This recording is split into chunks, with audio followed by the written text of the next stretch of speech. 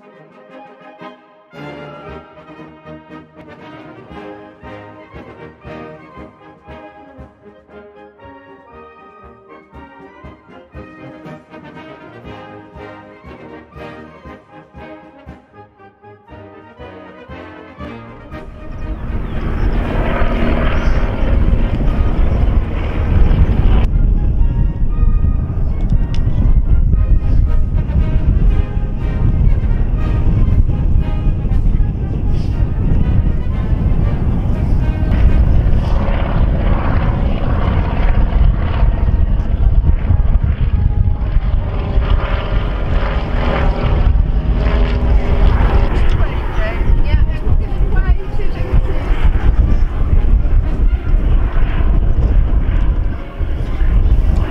have come together before these memorials as the friends and families, the heirs and successors of members of airborne forces who in many places and through many years have given their lives in defence of freedom and in the cause of justice and peace between nations.